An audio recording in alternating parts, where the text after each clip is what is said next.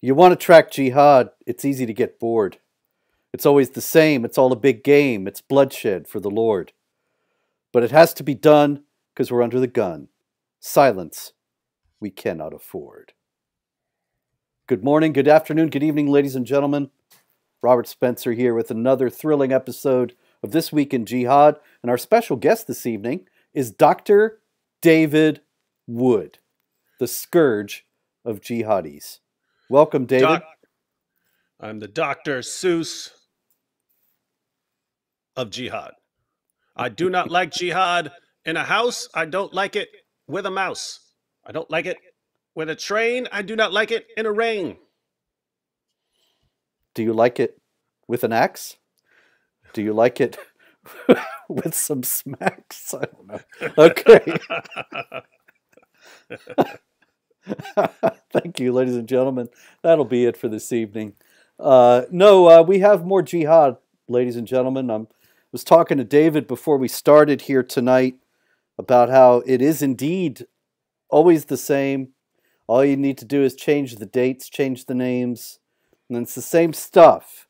And so I'm thinking about maybe hiring some jugglers, maybe contacting Andrew Tate for some uh, some cam girls. We'll try to liven this up a little bit, but in the meantime, it's just us. So, welcome. Where do you want to start, David? Shall we start with our friend Tariq Ramadan? Uh, yeah, I just wanted to point out, uh, based on what you said, we we've talked about this before, and I made a I made a video a long time ago pointing out exactly what you said. That you know all you have to do is change the names and the dates and the places, but it's the same stories over and over again. So uh, one day I just made a template video where I said, and there was another uh, there was another terrorist attack today in, and then I paused it, right, because then I could just insert the name, and uh, he, he, killed, and then uh, another pause where I could insert the number of victims and so on, and uh, and then I could just I could just use that over and over again. And all I had to do was sit down and say, uh, Kabul, 15 and just do that and could could use the exact same uh, video over and over again for all these attacks. Yep. Allahu Akbar, he shouted. He struck them in the neck. Anyway, Tariq Ramadan is in the news. This may even be the Tariq Ramadan edition of This Week in Jihad.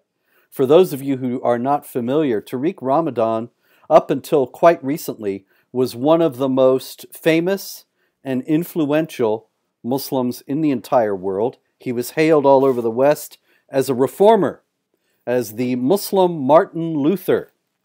He was called a towering intellect by Time magazine. But that was really kind of a joke because when he was on Twitter, he would post all this deep thoughts, all these little cliches, and all his followers would say, Wow, such wisdom. But it was like Hallmark greeting card stuff. Uh, but he was um, very much uh, celebrated. He was called one of the most seven most important innovators of the 21st century.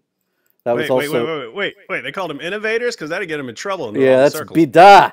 Yes, that's true. But uh, they weren't thinking about that because they're kafirs.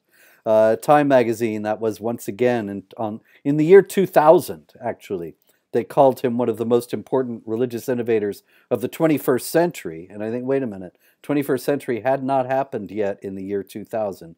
Yet they knew that he was going to be influential. He was named one of the most 100 most influential people in the world today. Foreign Policy magazine listed him as one of the 100 top global thinkers in 2008, 2009, 2010, 2012. But then what happened, David?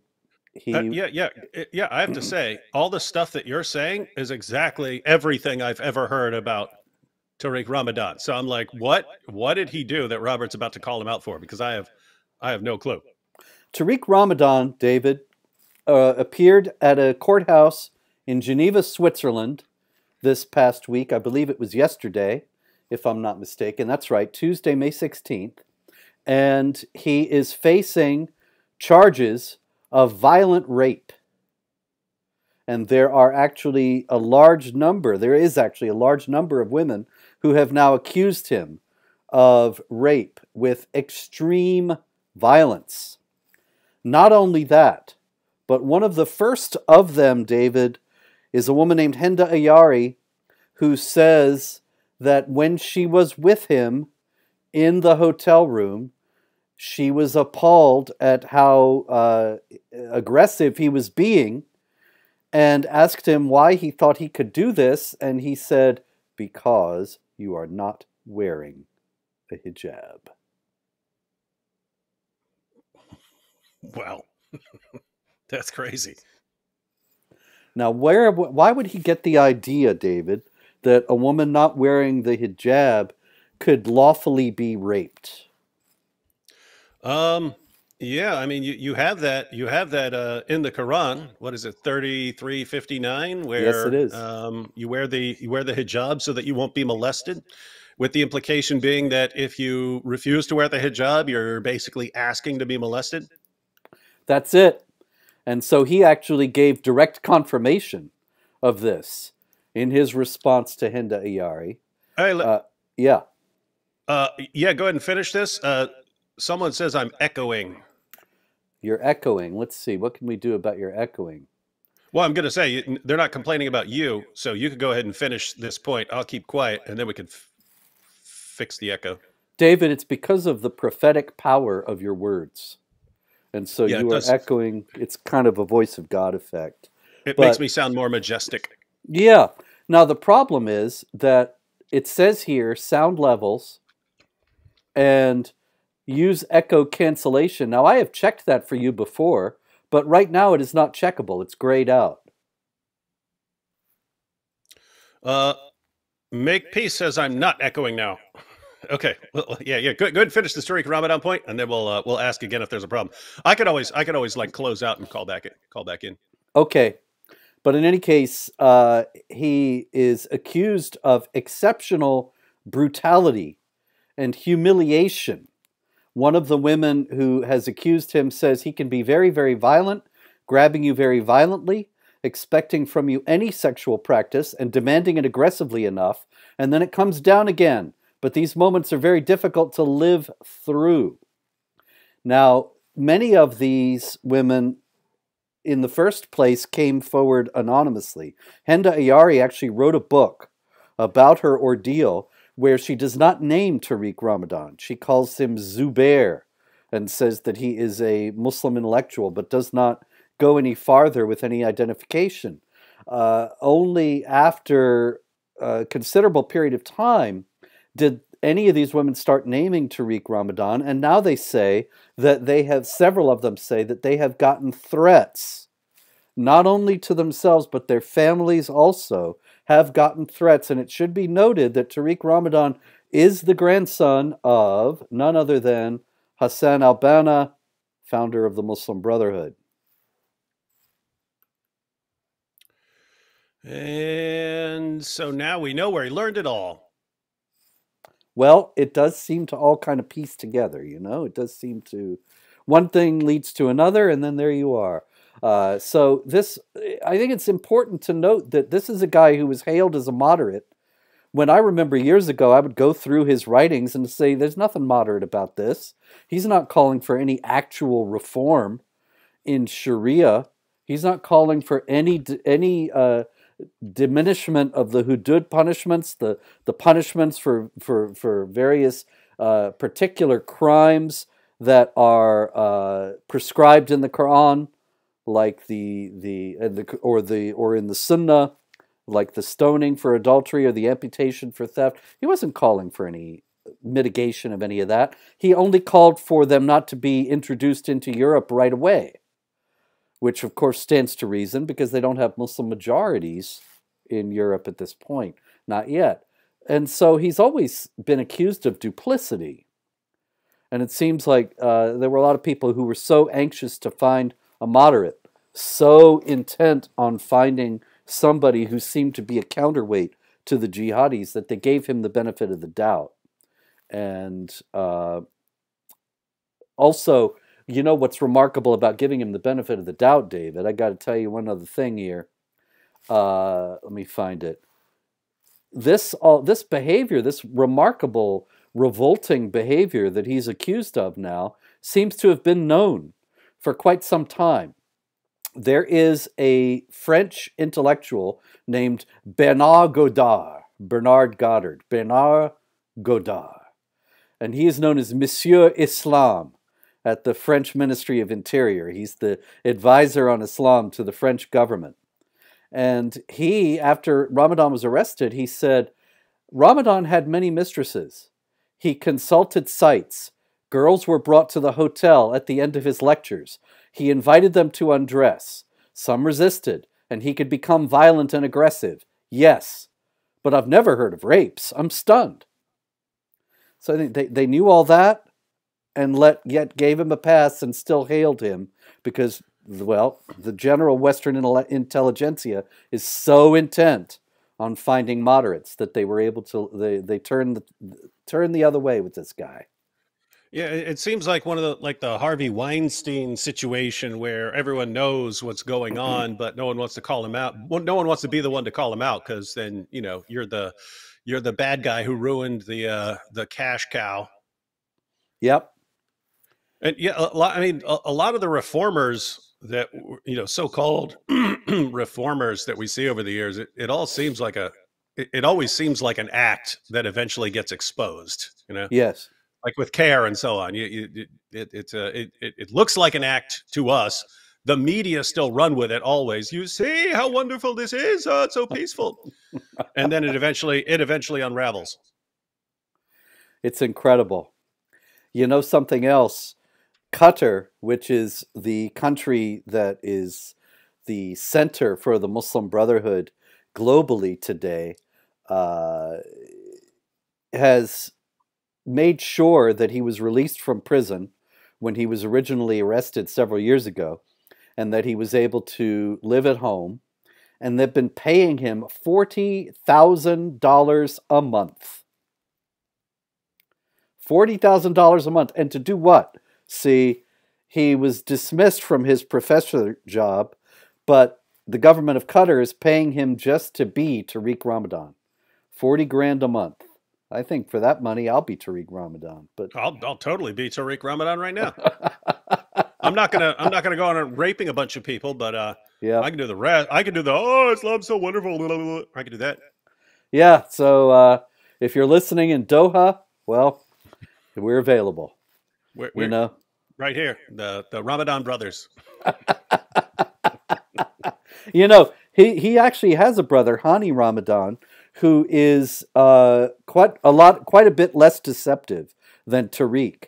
Tariq has been posing as a moderate all this time, while his brother, who is also in Switzerland, uh, is an imam who has openly called for Sharia and defended the hudud punishments and all of that. He, and so they're kind of a good cop, bad cop duo, but they really don't have any serious disagreements, if any at all. Yeah, and, and here here's the uh, here's the problem with all this reform. The Western media uh, institutions, uh, politicians, every educators, they'll all point to anyone who they view as a moderate and say, "You see, this is real Islam." and all the people shouting Allahu Akbar, um, that, that's uh, that's some misunderstanding of it. Um, but with all these reformers, again, it, it, usually comes out as a as an as some kind of show or act meant to deceive a bunch of Western morons. Um, but even if it doesn't, even suppose suppose Tariq Ramadan was the most sincere reformer in the history of Islam. Who's more who's more popular, him or like an Ali Dawah, who's screaming about how as soon as he gets in power he's going to execute uh, ex, he's going to execute former Muslims. Good point. And, and and that's the point you take even if you had a sincere reformer, they're just they never they never gain traction with anyone except Western politicians and journalists and so on. They don't they don't influence the Muslim community. The people influencing the Muslim community are uh, Ali Dawah, Mohammed Hijab, Daniel Haqiqatjou, who's uh, being praised for his brilliant intellectual defense of child marriage. Uh, these are the guys. These are the guys who are becoming massively popular. And so it's like, okay, media, hey, journalists, you're praising this guy this guy for his views. No one's listening to that guy. No Yeah. one cares about that guy. Why are you propping him up? And guess what? Maybe they're thinking like, oh, if we, the media, prop this guy up, then his peaceful, tolerant views will spread. Eh, They're still under the assumption that when you know you've got someone who uh, is raised as a Muslim or converts to Islam, and they still think that that person is is thinking, hmm, now how do I live as a Muslim? Let me go to CNN. Let me ask CNN. CNN, what do you have? Oh, you're playing Tariq Ramadan? Oh, okay. I guess I'll get my information about Islam from that and not from Islam's most trusted sources or uh, our most popular da'is or our best sheikhs. Not from any of that. I go to CNN. It- It's like it's like it delusional. Yep. You know, David, that actually brings up another important point, and that is that Tariq Ramadan is, in every sense, yesterday's man. Uh, he has not been, because he's been under the cloud of these accusations and charges for the last few years, he has not been in the public eye. But it's also true that the approach he represents has passed from the scene. He dates from a time, he had his heyday in a time when Muslim leaders in the West, of which he was a quintessential example, tried to make Westerners think that Islam was completely compatible with Western values and mores. And his whole public career has been about fooling Westerners into thinking that Sharia is completely compatible with Western secular government and laws, and that there's nothing to be concerned about, therefore, with mass Muslim migration into Europe and North America and so on. Now, the people that you mentioned a minute ago, like Ali Dawah and Haqiqatjou, they all represent, I think, a new wave of Muslims in the West who defiantly and openly and proudly reject the Tariq Ramadan idea that they have to say, hey, this is all benign, you don't have to worry about it. They say, actually, yes, it's completely incompatible with Western secular mores, and you should be worried about it, and we're going to conquer and subjugate you. Correct? Yeah, uh, but when you said uh, Haqiqatjou, it sounded like he'll kick a Jew. I bet he I would. thought- and I thought, yeah, I thought, yeah, he probably would, and probably, and then, and and then offer a, a series of studies that he's found that promote the the community benefits of of kicking. Yep. kicking. and challenge challenge non-Muslims on our hypocrisy for not joining in. Hey, has anyone heard that as a as a nickname for him? Because they they call him Pikachu and stuff like that. I usually don't get into the silly names and stuff like that, but uh, he'll kick a Jew. That's that's almost like a Yeah, like- it's, it's, it's right there. yeah. That's practically his name I'm- already. I'm, I'm, assuming I'm assuming people have come up with that before, but I hadn't heard it. I don't know. Does he uh, does he do a lot of anti-Semitic stuff? Probably Uh, he would if uh, if it came up. No, he's more he's more uh uh anti like LGBTQ stuff and and promoting wife beating and child marriage and stuff. Charming. So he, I, I, if I, eh, based on the little I've seen, he wants Christians and Jews to unite with Muslims around these causes of uh, wife beating and child marriage and uh, slaughtering LGBTQ people and so on. Well, you know that's kind of ludicrous, but it is worth noting at the uh, in connection with that that there are a lot of Christians at this point who are very happy watching Muslims being angry about all the transgender business and all that, and thinking that they can make alliances with Islamic groups. And I think, well, that that's understandable, but they don't realize the pitfalls involved. David, maybe you could briefly go over some of those pitfalls. Yeah, I mean, it's uh it, it's the it's the old it's the old line. You're y- y- if you're sick, uh, whatever you're taking for the cure shouldn't be worse than the disease. You know what I mean? Uh, so any problem you're pointing out to in society and thinking, oh, Islam can help solve this. Islam is something worse, my friends. It's like it's like saying, oh no, man, I gotta ah, I, I smashed my my pinky nail. What am I gonna do about this? Oh, I know. I'll stab myself in the face with a rusty screwdriver and I'll forget all about that pinky nail. Well, yeah, that would work. That would make my my pinky nail seem like a, an insignificant problem, but only by stabbing myself in the face with a rusty screwdriver, which is Mm-hmm. worse than you know a problem with a fingernail or something like that. And uh, so, yeah, any problem you could think of in the West um, that you want to do something about, because there are there are massive problems in the West. Uh, Islam has never been the solution to anything. Um, so yeah, and that's that's bad. But and keep in mind the people who would want to unite with you, the the the people, the Muslims who would want to find allies and so on. Uh, these are the same people who are united with who are united with the extreme left for decades now, um, because they they viewed the left as the ones who would protect Muhammad from criticism. Oh, now you want to teach our, our kids trans stuff. Okay, now we're gonna be now we're gonna be right. Now we're gonna be now we're gonna be hard right. It's like, wait, you're just picking on what whatever you think is is going to help you with whatever agenda is at the top of your list for the moment, but you have no you have no loyalty to any of these any of these other groups beyond that. And so uh, yeah, they would uh, they would definitely uh, love to form alliances with other groups to work on something that they've um, that that they're concerned about, but they're also going to insist, hey, if we're going to get along, you can't be criticizing Muhammad now. Hey, you want us on your team? You want us on your team against these, you know, this trans stuff? We'll be on your team, but you can't be criticizing Muhammad. That that that will that will break the alliance, and then people will go along with it and suddenly uh yeah suddenly you'll have like conservatives and and christians and jews and everyone all united oh we can't criticize muhammad he's so great Mhm. and it's like guys don't don't fall for that nonsense A lot of this Yeah. comes from them not knowing that uh, American conservatives not having any idea what Islam is all about. And so they think, well, yes, there are these terrorists and so on, but then there are all these other nice guys, and they seem to be on our side, so full speed ahead. Yeah and and uh yeah guys uh, i mean i've never been much of a group joiner right? I'm a christian. Other than that find a group that i'm a part of.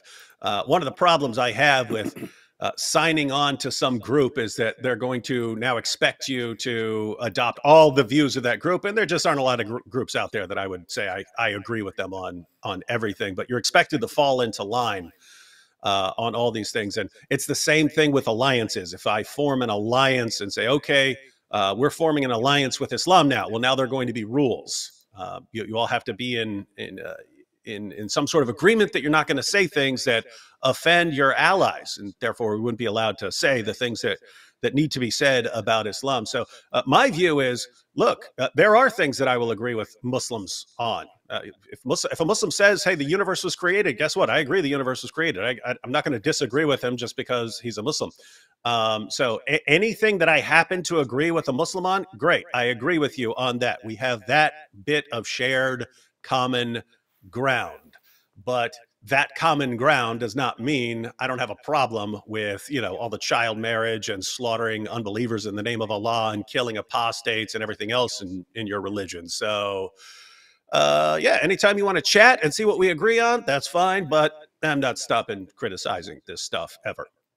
And it also must be noted that the Muslim side will never treat non Muslims as equals uh, in some kind of an ongoing culture war partnership. It'll never happen because there is no possibility for non Muslims to be treated as equals within Islamic teaching. Therefore, the alliance will only go, in so, go so far as it will remain useful for the Muslims, and then the allies will be dropped as soon as they stop being useful. And we, you, you, that's the exact pattern you have in the life of Muhammad, who was their pattern of conduct, right? Muhammad was happy to form alliances when they were convenient against some other group that he was focusing on. Later on, he would then subjugate those groups as well. Um, so, so in other in other words, when Muhammad is the persecuted prophet in Mecca and he's surrounded by polytheists, um, he's he's he's telling Jews and Christians, "Hey, Jews, Christians, we're we're all on the same side here. It's these polytheists who are the problem." Uh, and then when he went to Medina, of course, wanted to form these alliances with the Jews, the Jewish tribes. Of course, uh, then he uh, either expelled or exterminated all of those eventually. Um, same thing with with the Christians. Okay, now it's the Christians who are who are closest in love to the Muslims. Yeah, go go a couple chapters later, fight those who do not believe in Allah uh, from among the people of the book until they pay the jizya with willing submission and feel themselves subdued. Mm-hmm. But you can look at all these tribes and different groups that he formed alliances. They all eventually had to be subjugated, all of them. So just keep in mind, anyone who's, hey, we can we can form alliances with our Muslim friends to stop trans boys. I don't, I don't even know what the correct trans. It changes so often. Yeah, yeah, yeah. I'm, I'm still confused about the language, but this a, a trans girl racing against uh, a biological girl. We need to stop that, and therefore we're going to form alliances with people who will gladly form a temporary alliance with us with the goal of eventually subjugating us after uh, getting rid of that other problem they want to they want to get rid of. Yep. All right. I think that uh, at this point, David, we've got a lot of stupid infidel stories, and since we've been dealing with stupid infidels all this time, We'll just go on. In Denmark, a 15 year old named Ahmad Talal Hawila. He brutally assaulted another 15 year old, stabbed him in the right side of the back, and slashed him in the back of the head. It seems as if what he wanted to do was cut off his head or strike his neck, as we have noted so many times in accord with the Quran's command when you meet the unbelievers, strike the necks. He has just been convicted of attempted murder. And David, he was given a four year prison sentence. Four years for attempted murder, plus a warning that if he keeps this sort of thing up, he might be deported.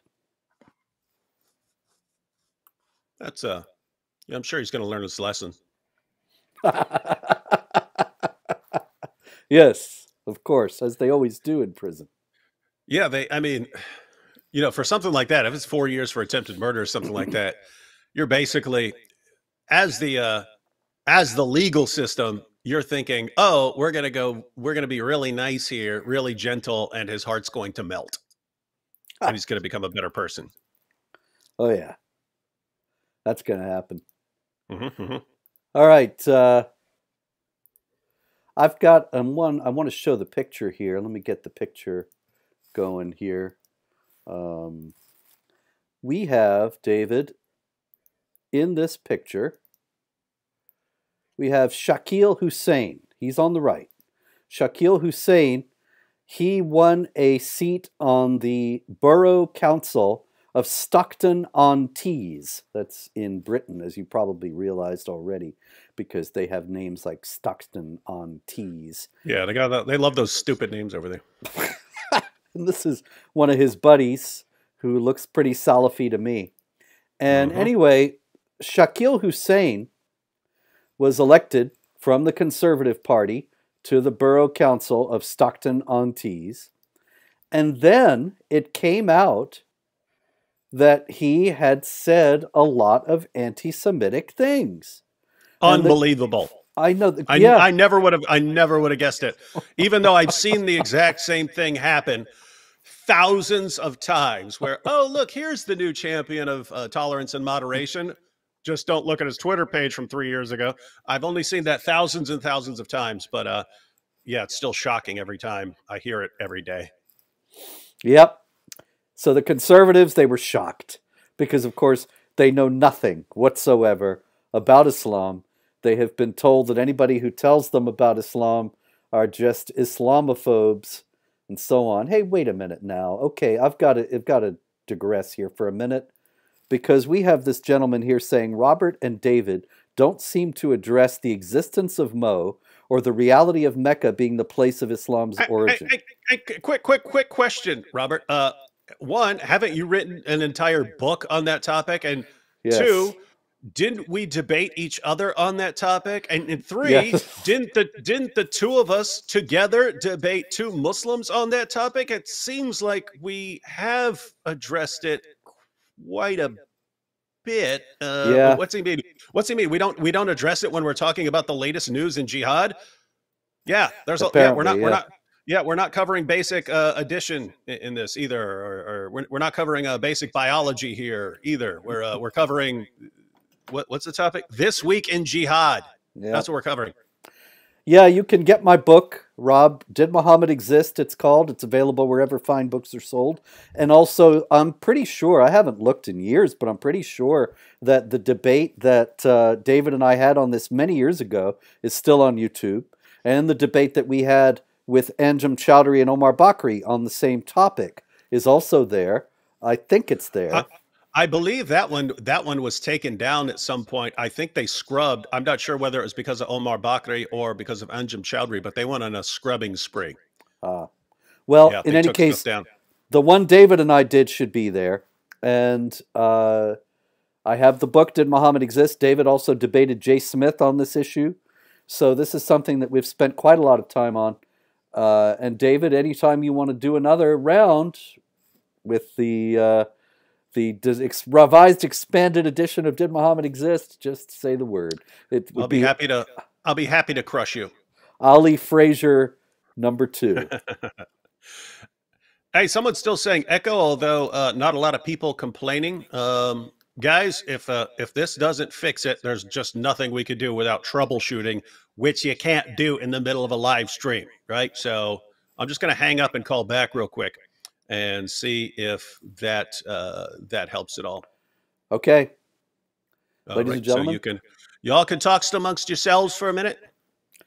Yeah, ask me anything, ladies and gentlemen. If you have anything to ask me, just ask away in that uh, comment thingy.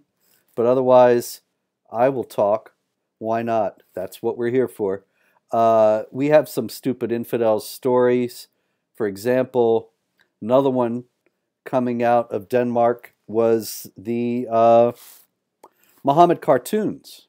And there was a proposal in Denmark for the teaching about the Muhammad cartoons to be made a part of the regular curriculum. And that would be in order to teach the Danes, great or not, about the freedom of speech and about the necessity for the freedom of speech as the foundation of any free society. But the proposal was voted down. The Danes thought that it would cause too many riots, too much difficulty for the people should they talk too much about freedom of expression. That means freedom of expression is on its way out. Let's see how this works. David, let's see. Where's where's David? David, you with us? Whoops. It looks like you're the only one here. Um, uh oh. Now I'm on the wrong side.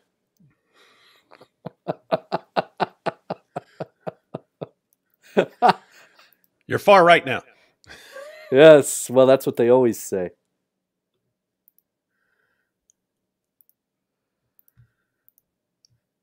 How strange. Okay, well, I'm just going to be on the far right.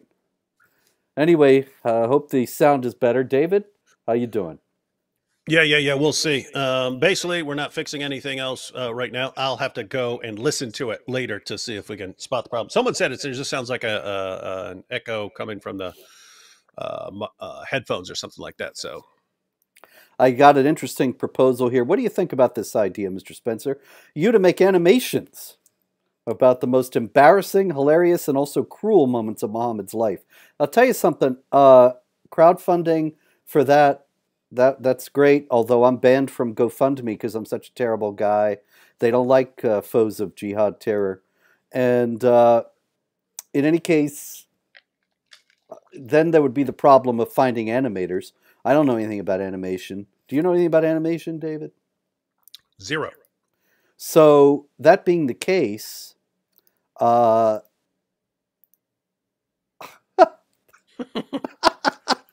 that being the case, it would be tough. I can tell you that I spoke. I guess I'm just going to have to live with being on this side. I have to turn turn this way now.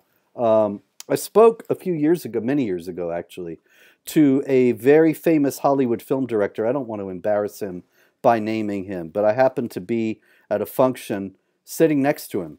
And so I gave him an idea. How, how about you do a movie about Muhammad? It's a great cinematic possibility because the guy's life is full of adventurous stories, dramatic incidents. There's a lot of brutality, there's a lot of sex, There's everything that makes movies sell. And I could write the screenplay. I already wrote the book. And he got very nervous and sort of Mhm. laughed nervously and said that uh, he wanted to, he valued his life, and that was it. You know, people are afraid to deal with these issues. And that's why there's never been a movie about Muhammad except the most ridiculous hagiographical thing where Muhammad is the camera and you can't see him because, of course, to see him would provoke idolatry. There is the uh, there is the possibility of uh, crowdfunding some sort of project. Yeah, you can't do it as a Hollywood movie, but uh, the ideas I have are uh, one claymation, doing a, do a Mm. claymation Life of Muhammad that's like two hours long, and uh, I Would be think I can do of- all the voices. Be kind of like Mr. Bill. Yeah, yeah, yeah, exactly like that, right? Yeah. Uh, so that that sort of claymation, or the Lego stop motion uh, animation, where they use little Lego figures to go around doing everything. Mhm. Um, there's that, or just make it like kind of low budget Monty Python and the Holy Grail ish, but like Life of Muhammad, but that kind of that kind of style. Um, yeah, it could be huge. one of the one of those ideas would work. Well, let me know. I'm happy to help. All right. Uh, I did a story very briefly while you're not here, but David, when you're not here, and I'm just telling the stories, it's boring. So this is this is part of the problem here. The jihad stories are all the same. Spencer's dull. What are you gonna do, man? Anyway, um, let's go to Sweden. In Sweden, there was a fellow. What's his name here? Um, Oh, oh, Malin. No, that's not his name. His name doesn't seem to be in here. It just is a representative of the Muslim group called Ibn Rushd. Ibn Rushd, and they're in the city of Malmo, which of course has a very large Muslim population. now, this group, Ibn Rushd, already gets the uh, taxpayer funding. But this guy, they were going to have a party for Eid the fe- the feast at the end of Ramadan, and this guy said that there was not enough taxpayer funding for their Eid party, and that if they didn't, the city didn't come across with more funds, Muslims would riot. What do you think, David? Where does he get that idea? Um, it, it's got to be from like Islamophobes like you. Mhm, mhm. You know, there was a guy years ago. He said, "He, I, I couldn't believe this. I was reading along. He, he sent me this lengthy screed, and in the middle of it, he says, "In Gaza, they are rioting and sending rockets into Israel because they read Spencer and they think they have a duty to jihad." I think, you, serious? You, you, you think I made that up? Yeah, that, that ranks right up there. I mean, that that's that's along the same lines as uh, thinking that these guys, like the the nice Muslims, get their get their information about Islam from CNN, and then the radical, uh, violent extremists they get their uh, views on Islam from Robert Spencer. But wh- whatever happens, the Muslim sources never have anything to do with Islam. Nothing. Nothing. Islam has nothing to do with Islam. Uh, meanwhile, we have another question here that is very salient and important. I'm actually Hmm. ready to make an announcement here, ladies and gentlemen, because I did ask you several weeks or months ago for suggestions about a book, and I've been in consultation with my publisher, Bombardier Books. And anyway, the question here is when is the critical Sira coming out? Next year. That's right. I have signed a contract, ladies and gentlemen. and This is the first global announcement. I have signed a contract with Bombardier Books to write a book called Muhammad, a critical biography, to be a companion piece to the critical Quran. It will be, in a certain sense, a the sequel to my earlier biography of Muhammad, The Truth About Muhammad, as well as a uh, an application of a lot of the investigations of did Muhammad exist. So not only will we be telling the story of Muhammad in Muhammad, a critical biography, but also examining when the stories were told and in what circumstances, and trying to elucidate why these stories were invented and what Muhammad was invented for, and so on. And so maybe then uh, we can do the debate, David, when that book comes out. The Thrilla in Manila, Part Three. Yeah, yeah, I'd be happy to crush you in in, in that debate. Um, I, uh, you should check out Joshua Little's uh, doctoral dissertation. Yeah, I've seen that briefly. But yeah, that's the kind of thing I'm going to be discussing. And so, this question how will the book be any different from the truth about Muhammad? Because it's going to be examining these stories from the historical critical standpoint and looking at. I think Joshua Little actually is an extraordinarily interesting and important figure because mm-hmm. he is somebody who is trying to make a distinction in the Islamic literature between material that is it, it, among material that's all considered authentic by Islamic scholars and trying to argue that some of it is actually inauthentic and some of it is authentic. And so uh, that's going to be quite different from the truth about Muhammad, which just presents the Sira material. And it's going to evaluate whether it's even possible to determine if any of the Sira literature has greater historical value than some of the others. But can you what what about Dave, uh, Joshua Little, David? Um, what is unusual about what he's doing? Well, I mean, he's pointed out in some of his talks that there there hasn't there just hasn't been a lot of a, a lot of work by non-Muslim Western scholars on the Hadith. They say there's tons of people go into Quran studies, but very few people who go into Hadith studies. He said it's actually an area where it's one of the few areas where you can go into and actually learn everything that's been written on a topic. Mm-hmm. Um, like I did my doctoral dissertation on the Bayesian argument from evil. Uh, one of the reasons I picked that was that was a recent argument, and I realized I could actually read everything that's been written on this. I could go through all of the philosophers who defend it and everyone who's responded to them, and I can actually know everything about a topic. Uh, so he's pointing out that that Hadith studies is actually uh, like that. But um, I, will put it I'll put it like this: uh, thinking of so he, in his dissertation, he's ultimately arguing that we don't know how how old Aisha was, but he and so I've seen Muslims using that. See, we don't know how old Aisha was, and so on. He gets to that conclusion because he treats the sources as very, very unreliable, and he's come up with methods for for trying to to pinpoint an, an, origin like when is the earliest you can you can date this back to and things like that uh, but using like computer computer models where he'll take like 200 sources and then compare the isnads and all the all the names in the isnads and then compare all the uh, different bits of information and phrases that are contained in the the matan the so that's the mm-hmm. actual content of the hadith and he'll line them up and it actually you can it starts tracing things back to historical points of when you can say the story originates.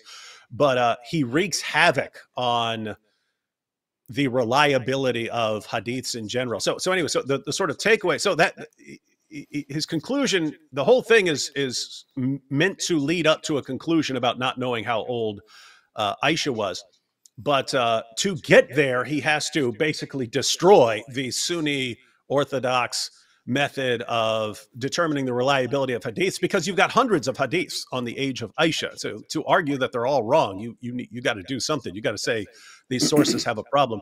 But uh, uh, Robert, so, I mean, since we're talking about this, just let me read you a little bit of what he says about the hadiths here, just to give you an idea, since you're you're going to be uh, checking all this out.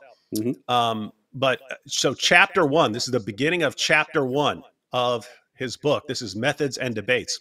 And he says that hadith are unreliable, that any given matan cannot be taken at face value as an accurate datum from the first Islamic century, and that any given isnad cannot be taken at face value as an accurate record of a matan's provenance, provenance cannot be seriously contested for multiple reasons.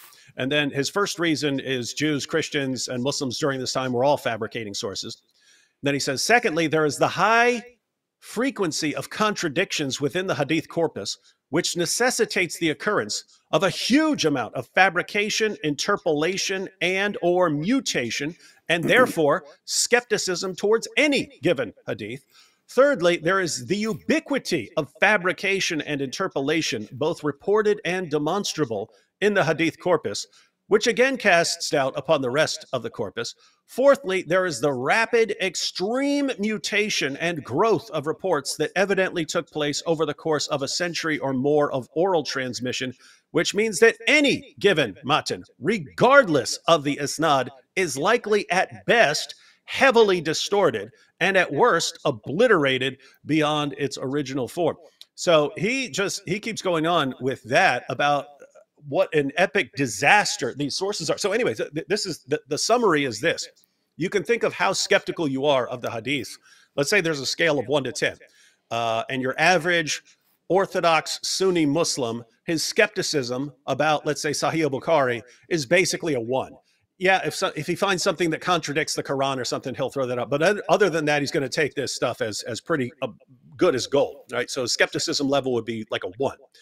Um, my skepticism level of the hadith would be like a, a, like a four or five range meaning if i have reason to think okay that's odd like a miracle stories and so on i'm not i'm not saying they're made up because they're miracle stories i'm saying they're made up because the quran is the earliest source on that and the quran repeatedly denies that muhammad could perform miracles but the quran is is pointing out that people were repeatedly cha- challenging muhammad to perform miracles and allah is making excuses for him so it's pretty clear that, that didn't stop when Muhammad died. People would have still kept asking for the miracle stories.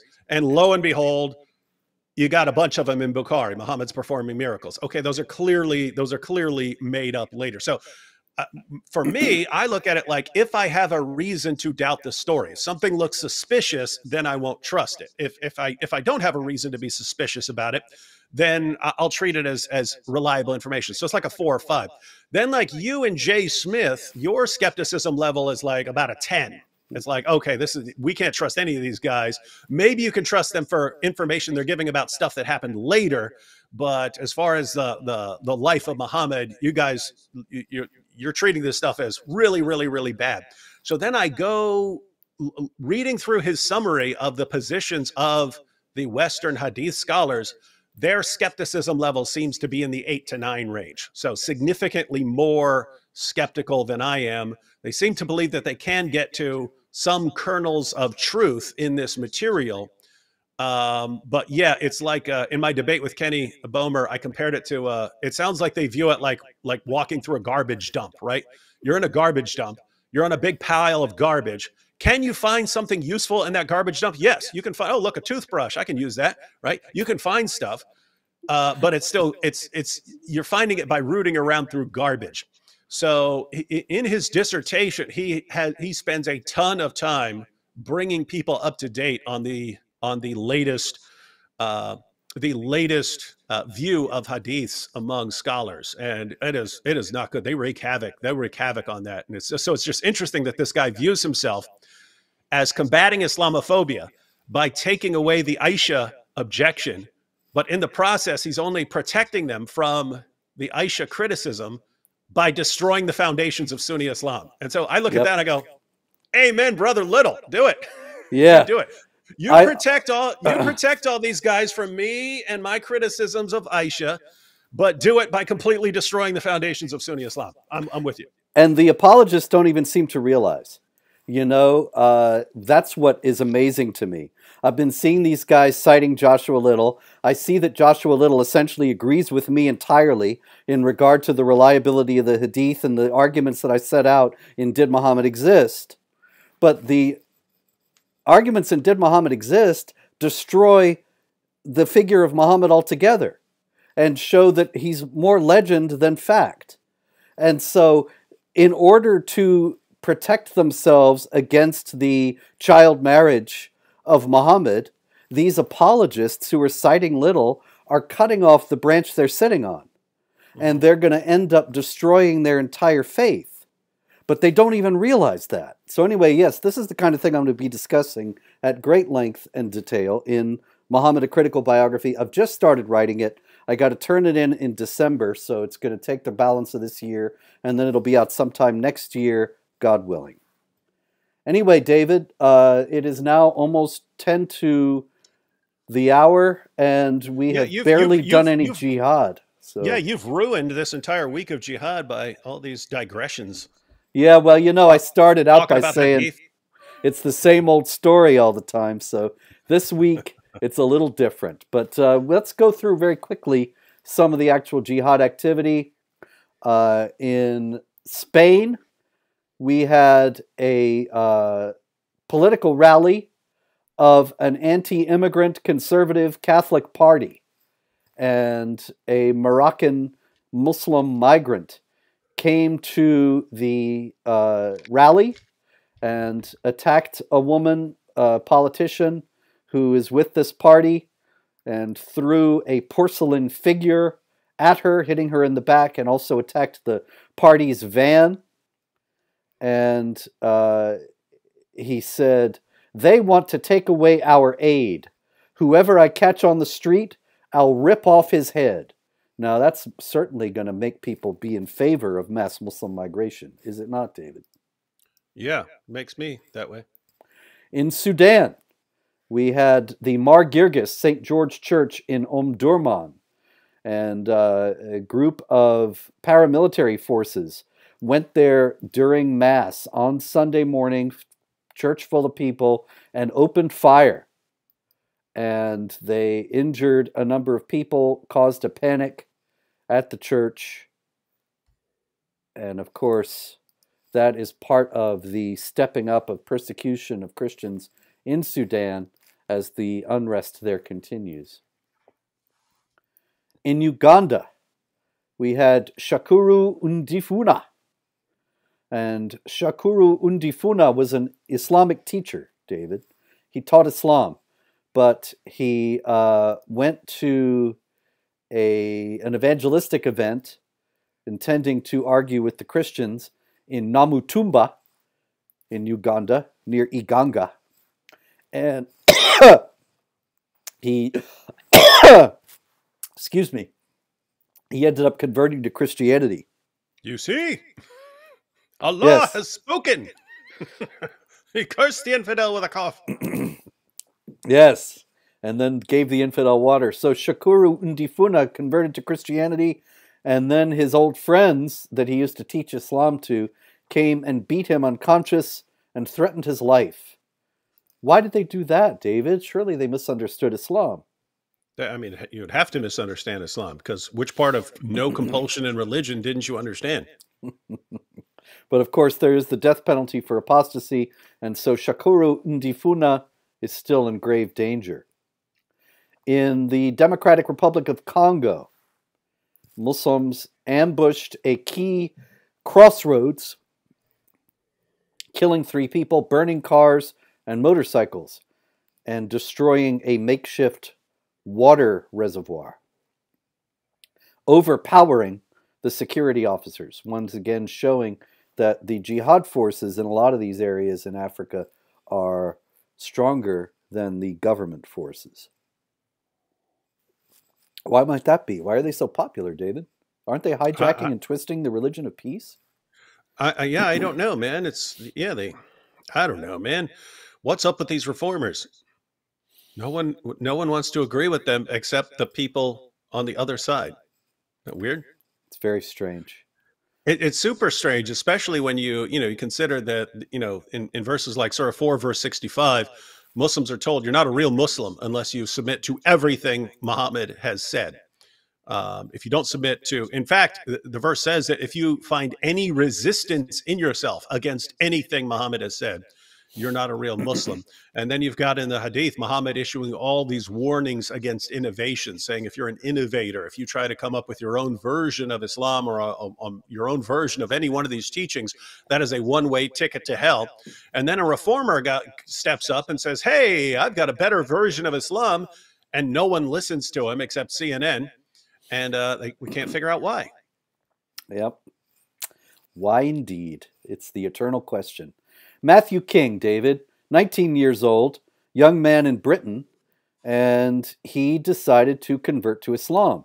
Now, oddly enough, after Matthew converted to Islam, he began discussing with an online girlfriend plans to massacre British police officers or soldiers. But his mom turned, turned him in spoiled his plans. Mom. Anyway, why would a convert, David, get the strange idea that he should wage war against unbelievers and try to kill cops? I don't know. He, he, he, had to have been watching your stuff, Robert. That's the only possible explanation. It's, there's no other possible explanation. All right, uh, Nigeria. 28 people killed in a jihad raid on the Umbawa Council Ward in the Guma local government area of Benue State. 28 people killed. Soldiers and police stood by and did nothing.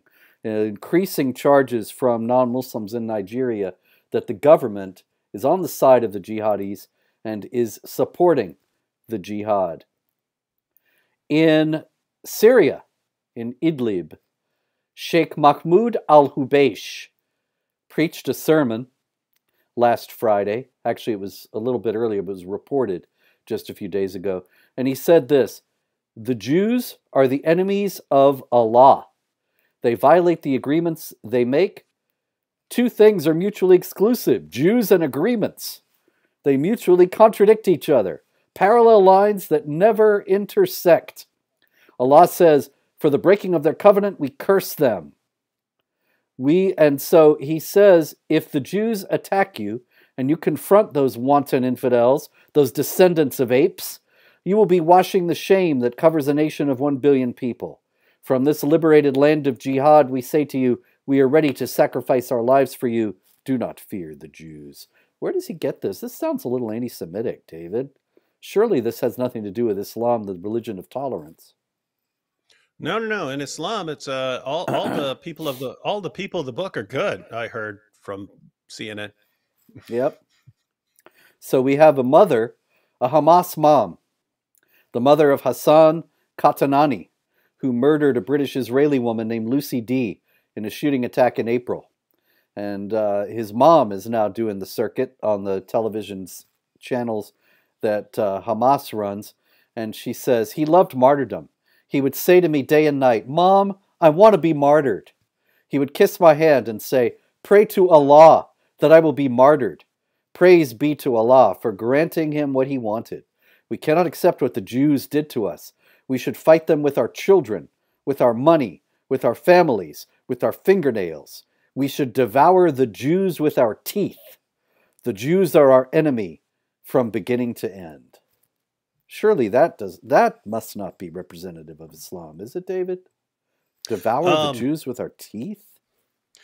Yeah, well, uh, now that I think about it, I do recall some passages in the uh, Quran and the Hadith that are uh, dealing with this. Of course, you know, in Surah 5, where Allah says that the most vehement of uh, enemies to the believers are the Jews and the polytheists uh, you have Muhammad in the Hadith saying that the end will not come until you fight the Jews, until the Jews are hiding behind rocks and trees, and the rocks and trees are crying out, "Hey, there's a Jew hiding behind me! Come kill him!" Uh, so you have those kinds of uh, you have those kinds of passages. What, what's what's especially creepy is this um, uh, this desire to send their kids out. Right. This I, I want my kid to go be a martyr, and then you you you see the kid's obsession with martyrdom. Where's he getting that? Well, he's being fed on a steady diet of Muhammad, who said in the Hadith that uh, that he that if you had the entire world, it would not compare. It would not compare to the glory you get from being a martyr. Uh, Muhammad said uh, that his greatest desire was to be martyred, to be killed while slaughtering unbelievers in the name of Allah. Uh, he said that it's the greatest thing in the world. He was asked, "What? What's the uh, what is what deed is greater than that? He said, I do not find such a deed. And so it's the greatest thing you could do. You get rewarded with all your uh, all your virgins in paradise. You get to spend eternity deflowering virgins, and then it's combined with this. Uh, it's combined with this uh, with this weird. I don't know. I guess it's always been here, but have you noticed that like everyone's? Well, let me let me let me let me let me wind this back in the ancient world, when they still had things, you know, when they're still doing ritual sacrifice and so on, the the value of your your sacrifice is what demonstrated your uh, your devotion to your God. And so the greatest thing that they could sacrifice was their children, right? That's how you really showed your pagan God uh, how much you uh, loved him or loved her. Now, notice in, in Christianity, this gets flipped. It's God loves you so much that he gives his son for you. It's, totally, totally reverses the paganism. But that didn't happen. That didn't happen in Islam. And so uh, it's just, it's just this weird thing where people don't view themselves as sacrificing to gods anymore, but everyone's being required to offer up their children as as their as the evidence of their devotion to their cause right? So he uh, you know here in the us you got to take your kid to a you know a drag queen story hour because not because you've actually sat back and thought about it and said you know i think this is what is best for my kid. It's you're demonstrating your devotion to your group which has become your god. In the uk i mean they spent decades allowing these grooming gangs to rape and drug and pimp 11 and 12 year old girls to show their devotion to how tolerant they are and how how anti-Islamophobia they are. And here you've got uh, you, have got Muslims wanting their kids to go and be martyred for Allah, and they're they're showing their devotion by I want my kids to go out and and die for this. And it's just this. I don't know. I find this. It's it's it's fascinating to me how situations change, but human nature doesn't change in the sense that here we are thousands of years after these uh, you know child sacrifice you had and it's still the same mentality. I'm showing my my devotion to my group or my ideology by handing over my children. That's a superb point very important and i think that we will end it there. I do want to just add one other thing though very quickly. A sermon out of iran friday sermon Nasir Hosseini, who is the supreme leader, Ayatollah Khamenei's representative in several provinces, he uh, was telling people they have to go on the Hajj, the pilgrimage to Mecca. They have to do it.